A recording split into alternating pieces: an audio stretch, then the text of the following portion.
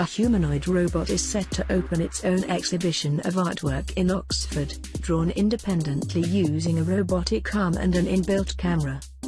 The robot, called Ai-Da after the mathematician Ada Lovelace, is said to be the first ultra-realistic robot, capable of drawing people from life using her eye, and a pencil in her hand, according to its creators.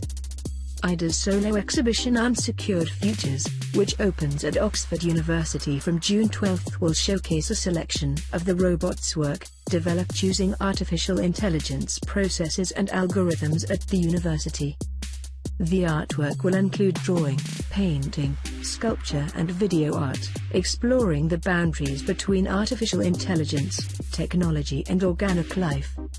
Pioneering a new art movement, we are excited to present Ai-Da, the first professional humanoid artist, who creates her own art, as well as being a performance artist, said Aidan Meller, Ai-Da's brainchild and gallery owner. Engineers in Leeds developed the robotic hand used by Ai-Da, which follows a number of stages and algorithms, calculating a virtual path based on what it sees in front of it and interpreting coordinates to create the piece of art.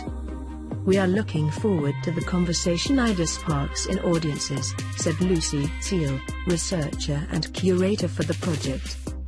A measure of her artistic potential and success will be the discussion she inspires engaging people so we feel empowered to reimagine our attitudes to organic life and our futures is a major aim of the project.